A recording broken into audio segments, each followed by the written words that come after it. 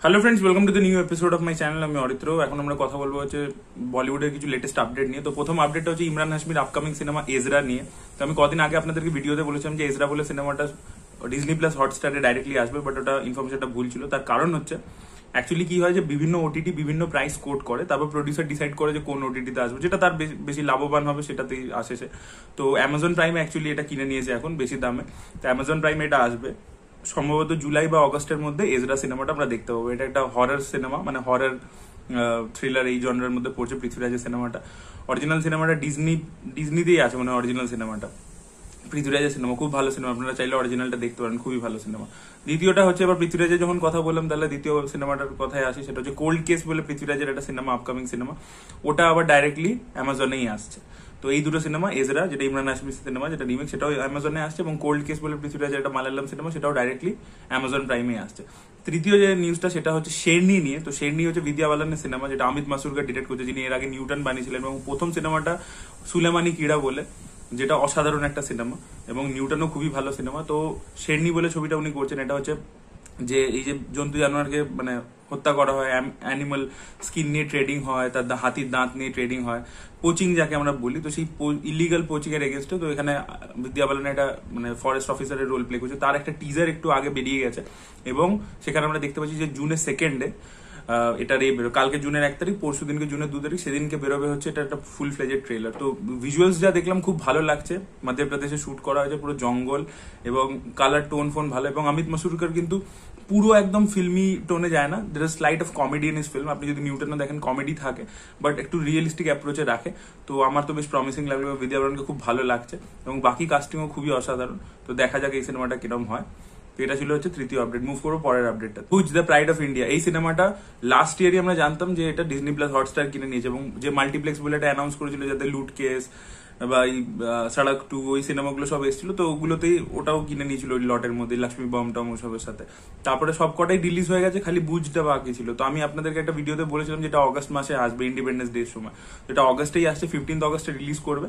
তো আমার যা এখন পরিস্থিতি মনে হচ্ছে, তাতে তো হল খুলবে না মনে হচ্ছে। তাই সূর্যবংশী তো আসবে না। আপনাদেরকে একটা ভিডিওতে এটাও বলেছিলাম যে অক্ষয় কুমার ফিফটিন্থ অগস্টে আসবেই আসবে। যদি হল না খুলে, তাহলে বেল বটম নিয়ে ডাইরেক্টলি অ্যামাজন প্রাইমে আসবে। আর যদি হল খুলে যায়, তাহলে সূর্যবংশী নিয়ে আসবে। তো অজয় ভার্সেস অক্ষয় আমরা ক্ল্যাশ দেখতে পাবো। আমার তো যত সম্ভব মনে হচ্ছে ওটিটিতেই হবে। তো একদিকে ভুজ থাকবে, একদিকে বেল বটম থাকবে। দুটোই মানে ইন্ডিয়ান মানে ন্যাশনালিজম ওপর বেসড সিনেমা একটা নাইনটিন সেভেন্টি ওয়ানের ব্যাকড্রপে একটা নাইনটিন এইটিজ এর সময়কার গল্প। তো দেখা যাক কোনটা বেটার হয়। বাট ভুজ ফিফটিন্থ অগস্টে আসতে চলেছে। পৃথ্বীরাজ, যেটা হচ্ছে অক্ষয় কুমারের আপকামিং সিনেমা ওয়াইআরএফ এর সাথে। তো সেই সিনেমাটার সাথে কার্নি সিনহা অলরেডি ঝামেলা শুরু করে দিয়েছে। তারা বলেছে যে সিনেমার টাইটেল চেঞ্জ করতে হবে। ইদার রাখতে হবে হচ্ছে পৃথ্বীরাজ চৌহান আর রাখতে হবে হচ্ছে বীর সম্রাট পৃথ্বীরাজ। খালি পৃথ্বীরাজ নাকি রাখা যাবে না, তাহলেই নাকি পদ্মাবতের মতো অবস্থা হবে। যেরকম ওটার নাম চেঞ্জ করতে হয়েছিল। এবং এরা এতটাই ডাবল স্ট্যান্ডার্ড যে এর পরে দেখবেন যখন ছবিটা বেরোবে, এবং ছবিটাতে তো ডেফিনেটলি পৃথ্বীরাজকে সেলিব্রিটি করা হবে, তো তখন দেখবেন এরাই ওটাকে নিয়ে লাফালাফি করছে, যেরকম পদ্মাবতের ক্ষেত্রে হয়েছিল। তো এরা হচ্ছে বিশাল ডাবল স্ট্যান্ডার্ড টাইপের লোক, এটা বলেই দিলাম। লাস্ট আপডেটটা হচ্ছে ব্রহ্মাস্ত্র নিয়ে। তো ব্রহ্মাস্ত্র সিনেমাটার উপর তো আয়ান মুখার্জি প্রচুর কাজ করছে। আজকে আয়ান মুখার্জির সিনেমা নিয়ে ইয়ে জাবানি হ্যাদিবানি আট বছর কমপ্লিট হলো, আমি একটা ভিডিও নিয়ে আসব আজকে। আয়ান মুখার্জি ইয়ে জামানি হেদিবানির পরে এত বছর হয়ে গেছে, আট বছর ধরে সে স্ক্রিপ্টের উপর কাজ করেছে, এ করেছে, সিনেমাটার শুটিং বুলগেরিয়াতে শুটিং হয়েছে, তারপর এখানে ইন্ডিয়াতেও অনেক জায়গায় শুটিং হয়েছে, প্রচুর ভিজুয়াল এফেক্টস কাজ আছে, প্রচুর মন দিয়ে করছে দু হাজার উনিশে আসার কথা ছিল, সেখান থেকে পোস্টপন্ড হতে হতে, এখন এটা দু হাজার বাইশে আসবে, তো প্রচুর কাজ করছে, প্রচুর লোক খাটছে খুবই, নাহলে সে এরকম রোম্যান্টিক কমেডি সিনেমা আরও প্রচুর বানাতে পারতো এবং প্রচুর টাকা আর্ন করতে পারতো বাট সে ফোকাস করেছে একটা জর্নার উপর, যেটা ইন্ডিয়াতে এখনও মানে সাকসেসফুলি সবাই ট্যাপ করতে পারেনি। মানে কিছু ক্ষেত্রে পেরেছে, আবার কিছু ক্ষেত্রে এখনও পারেনি। মানে এটা এখনও নিজ জনরা একটা। তো সেটা হচ্ছে যে নাগার্জুন একটা ইন্টারভিউতে বলেছিল যে, এটা টাইম লাইনটা হতে চলেছে হচ্ছে ফাইভ থাউজেন্ড ইয়ার্স আগে। তো এখন যেটা শোনা যাচ্ছে যে রণবীর কাপুরের নাকি পাওয়ার্স যেগুলো আছে, এটা আমরা তো আগে অনেক ভিডিওতে বলেছিলাম যে রণবীর কাপুরের কিছু সুপার পাওয়ার্স আছে এবং সেই সুপার পাওয়ার্সগুলো ওকে মানে নিজের মধ্যে যে আছে সেটা বার করতে আর কি অমিতাভ বচ্চন হেল্প করবে। তো অমিতাভ বচ্চনের ক্যারেক্টারটা নাকি ডাম্বলডোরের মতো অনেকটা হতে চলেছে, যে হ্যারি পটারকে গাইড করতো। এবং এইখানে নাকি রণবীর কাপুর নাকি টাইম ট্রাভেল করে মহাভারতের সময় বা তার আগের সময় যাবে। ঠিক আছে? তো সেই সময় কিছু একটা, সেইখানকার এরাতে একটা গল্প বেস এবং পরের পার্টে নাকি সে ফিউচারেও ট্রাভেল করে যাবে। এবং শাহরুখ খানের আমরা জানি যে ব্রহ্মাস্ত্রে একটা ক্যামিও থাকতে চলেছে। এবং শাহরুখ খান নাকি পরবর্তী পার্টে নাকি একটা ভিলেনের রোল প্লে করবে। মানে ফুল ফ্লেজেড আর কি সিনেমাতে থাকবে এবং ভিলেনের রোল প্লে করবে। তার ক্যারেক্টারটাকে ফার্স্ট পার্টে জাস্ট ইন্ট্রোডিউস করা হবে।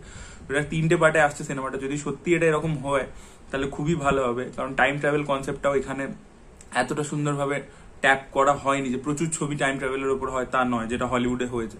তো দেখা যাক কিরম হয়, কি ব্যাপার হয়। তো really excited looking forward to this film Brahmastra যখনই আসুক, বিশাল ধামাকা করে আসুক, এতদিন ধরে ওয়েট করে আছে আমরা প্রত্যেকেই। সো এটা এগুলো ছিল আপডেট আপনাদের এগুলো নিয়ে কি মতামত কমেন্ট করে ডেফিনেটলি জানাবেন। এই ভিডিওটা ভালো লেগে থাকলে লাইক করুন শেয়ার করুন চ্যানেলকে সাবস্ক্রাইব করতে ভুলবেন না।